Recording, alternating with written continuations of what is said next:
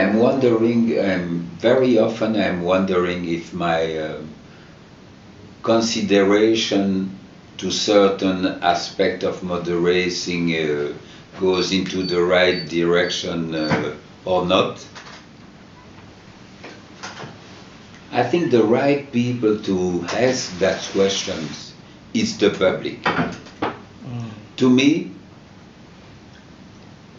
Grand Prix racing, it's a show. It has to be spectacular. The judges, to know if it's a success or not, it's up to the public or the fan who like motor racing. And you can count the number of people in the grandstand, for example, or you can uh, count the viewers on TV and you can say, well, we had 300 million viewers for the Grand Prix. They are the people you have to ask that question, really, because that passion and the fact that they are coming, it's the engine of that show. If you have less spectators or if you have less viewer, viewers, that means your show it's not good or less good. Um, the question today is to know, uh, the question today,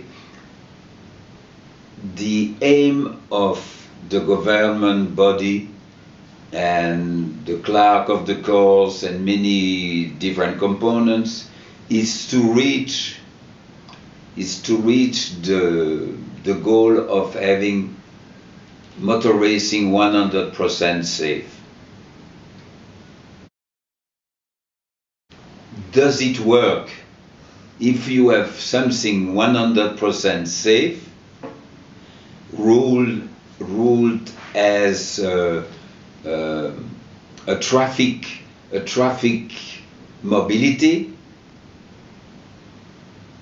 I don't know if it will be uh,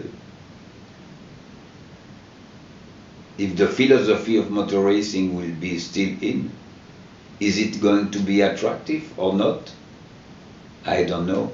It's only you who can judge, or the public, in my opinion. But um, you have good Grand Prix, you have some exciting Grand Prix, um, you have Grand Prix where there is a lot of action into it.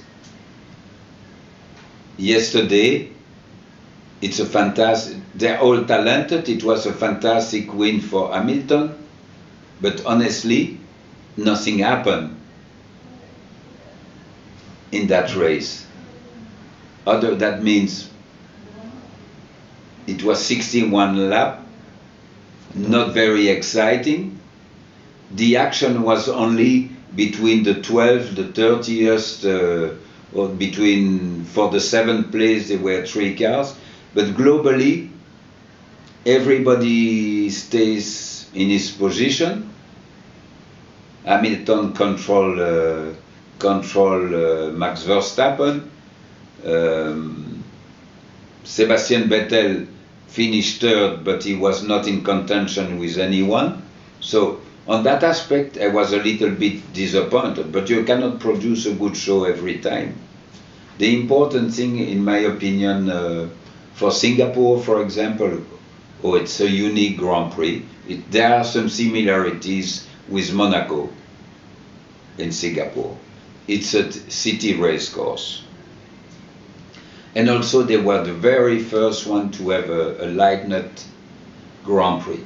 It was a real challenge, not only to build a race course in the city, but being able to make, to make it by night. Mm.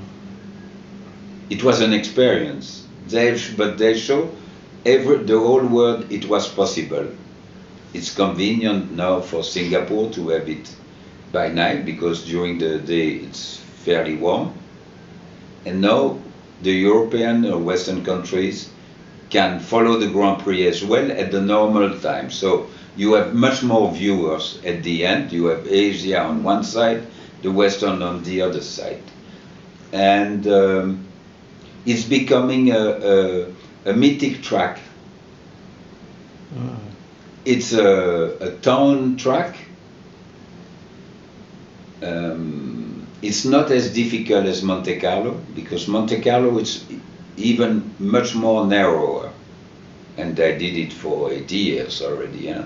But the track at Monte Carlo, it's really narrow. Here you still have some some space, some exits, uh, but it works because you have done it for 11 years now. It works. You are part of uh, you are part of the show really, and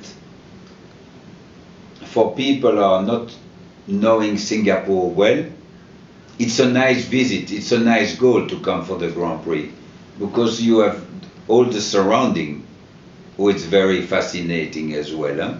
Yes.